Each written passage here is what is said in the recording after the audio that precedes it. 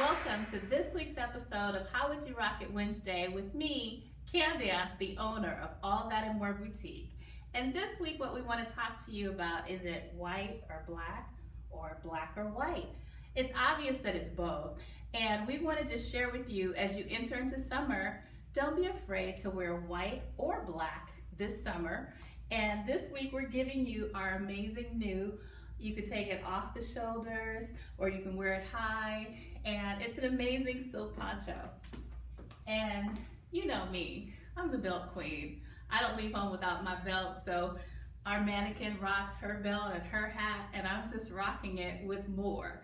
So this summer, don't be afraid to wear either white or black or both. And if you need any fashion tips, you know where to come. All That and More Boutique, where we style you for this time in your life. So until then, stay fabulous.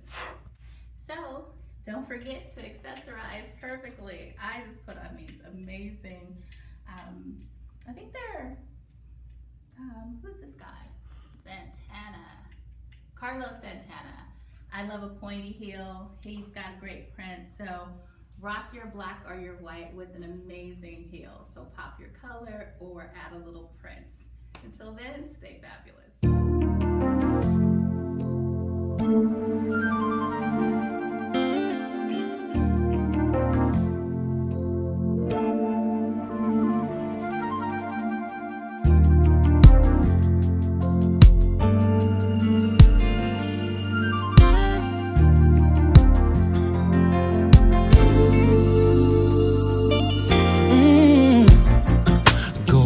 through the motions, but never know when love.